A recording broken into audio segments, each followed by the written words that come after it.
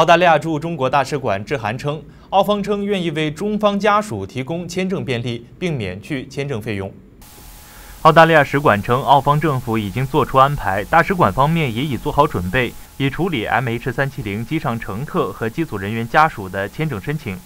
大使馆的移民和边境保卫部通过海外机构，正在和马航以及中国的相关部门合作，为打算赴澳的家属和官员提供签证便利。